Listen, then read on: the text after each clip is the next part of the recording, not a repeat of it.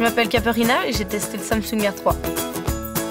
Il a des avantages par rapport aux autres téléphones. Il va plus vite, il est plus grand, on sait mieux zoomer, on voit plus grand les lettres.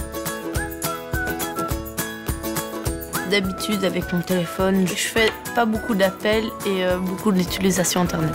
Je vais sur Facebook, j'utilise les applications Viber, Snapchat, j'envoie des messages, j'utilise le GPS quand je ne sais plus trop où je me trouve et euh, la musique aussi beaucoup.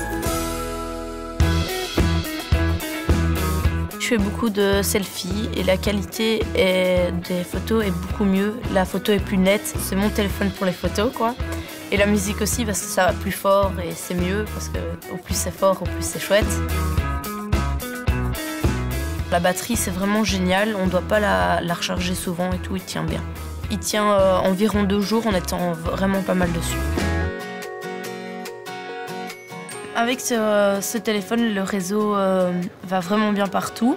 Mes grands-parents, ils habitent à la Louvière. Tout le monde n'arrive pas à capter. Et moi, franchement, euh, je capte hyper bien. J'ai aucun problème. Si je dois convaincre quelqu'un d'utiliser, euh, si c'est quelqu'un de mon âge, euh, il va souvent sur des applications et tout ça, et elles sont rapides, euh, bien et pratiques.